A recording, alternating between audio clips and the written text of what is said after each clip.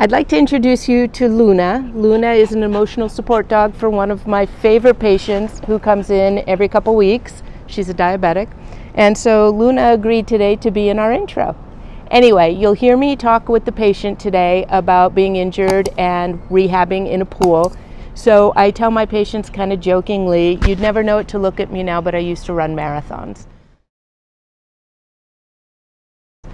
So um, I did, for real.